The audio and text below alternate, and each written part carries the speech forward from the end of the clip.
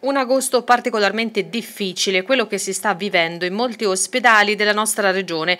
A lanciare l'allarme è il segretario regionale del Nursind Giampaolo Giannoni. Il problema principale riguarda la carenza di personale che finisce per mettere in crisi da una parte i sanitari e dall'altro la qualità dell'assistenza erogata alla cittadinanza. In questo quadro, spiega Giannoni, la grande assente è la Regione che non ha mai dato seguito alle nostre richieste sulle assunzioni, sull'adeguamento delle tariffe per le cosiddette produttività aggiuntive, sulla prescrizione infermieristica e sul 118. Silenzio su tutta la linea con il personale infermieristico che è comprensibilmente sempre più stanco, demotivato e arrabbiato. Siamo in stato di agitazione. Ad Arezzo, ad esempio, è stato proclamato quasi un mese fa e siamo molto preoccupati. Se le cose dovessero rimanere così, il rischio è che tanti servizi dopo l'estate non possano riaprire.